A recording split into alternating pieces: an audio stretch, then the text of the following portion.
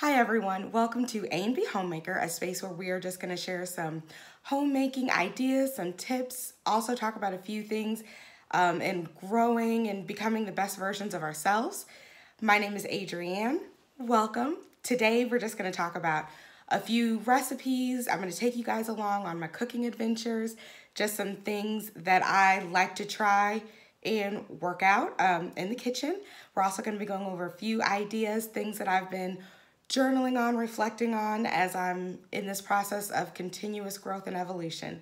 So today we are going to try a super simple recipe. It is a creamy kale and mushroom pasta.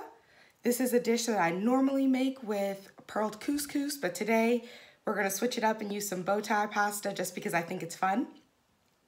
And in the journaling and reflection part of what we're gonna be talking about today that I'm just gonna throw in there. Um, in remixing this recipe and trying out something new, it really had me thinking about it's 2019, new year, new me, all of the resolutions. And as we continue to grow and try and change and alter ourselves to become the best version of ourselves, it can sometimes be difficult to take the new us into old spaces. Um, so that's something that we're gonna be tackling a little bit later, but for right now, we're gonna work on this recipe. I do wanna say and be transparent, I'm not a professionally trained chef. I am not um, anybody's cook. I just like to eat, like to try out new things. So as you're looking at these recipes, they are provided with the spirit of flexibility. So try out something, if it works, if you wanna add a little bit of this, take something away, remix it. Let me know in the comments what you did and how that worked out for you. I'm always here for trying out new things and hearing new suggestions. But we're gonna go ahead and we're gonna get started with this recipe.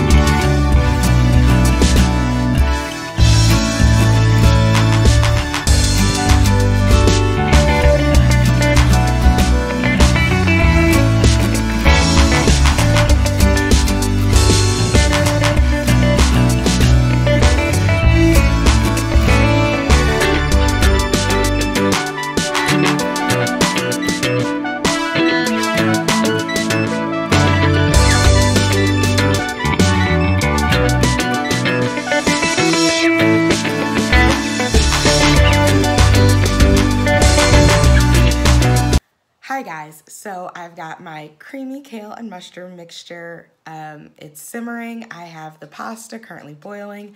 So when that's done, everything can be mixed together and we'll have a yummy dish. Um, but I just wanted to take a few moments and jump back into our previous subject of how to bring the new you into old spaces. And so I know most of us are consistently working on stretching, on growing, on the self-help um, podcasts, self help books, doing our self care, just working on how to evolve into the most efficient and full versions of ourselves and who we were created to be. And in that journey, there are different levels, there are different stages to that. And we grow, we evolve, we shed old things, we let go of some things. And that can be really challenging as we go into, while we are growing and while we're changing, some of the things around us are staying the same.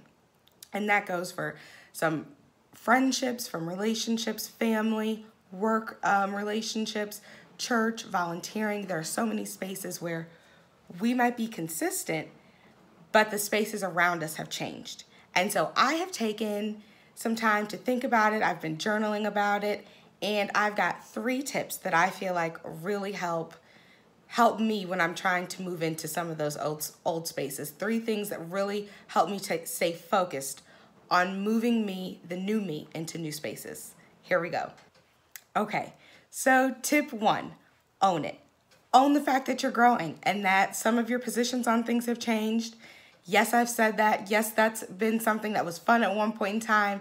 That's where I was, but I have new experiences. I've learned new things. I've grown some. And now the lens that I see life through has changed. It's adjusted. And I have a new stance. I have a new perspective. And you're correct. Things have changed. So when people bring that up to you, that change has occurred, they're right. And go ahead and let them know, yes, that was then and this is now. Hi, this is the new me. Um, the second thing I would say is do some evaluations. I would look at what are the spaces, what are the relationships that you're dealing with, that you're um, trying to work into the new you into. I would look at is this something that you need to be a part of? Is this something that is a requirement? Is it a situation where maybe you were really close at one point in time and had no boundaries, but the new you and the new space that you're walking into might require you to have some things that you keep a little bit more closely guarded to yourself. Or maybe this person fit so well with you before because they were attached to things, the, the old parts of you that you don't have anymore. And while there's some remnants of you still available, the things that they love, the things that you connected on, you just aren't interested in anymore. So I would go through, I would do some evaluations, see if maybe there's some shifting in relationships or in spaces, or maybe there's something a space that you've loved that you just no longer need anymore. Where it was great then, but this is now, and maybe there are just some adjustments that are needed. So, the third thing that would be be bold, own it. You're growing, you're coming into a new person. It can be scary, it can be challenging, it's thrilling, and it's fun, and it's all of these emotions at one time. And while you're going through this transition, the people around you are also going through a transition. And sometimes because it can be scary for them to lose something that they've been familiar with or part of you that has been so familiar to them, it will want, make them want to challenge the new you or try and hold you hostage to who you were when they met you. And you don't have to allow that. You can own and really walk in this new version of you, excited, ready to take the next step, see what's coming, making sure that everything that is in your life is aligned with not only who you are now, but who you are focused on becoming. And be excited about it. Own it, growth, developing, becoming the best versions of ourselves. It's so exciting. So I would say be bold as you move forward into the new version of you. So those are my three tips to number one, own it. Number two, do some evaluations, assess some things in your life. And three, I would say be bold as we all continue to grow and transition into the new us.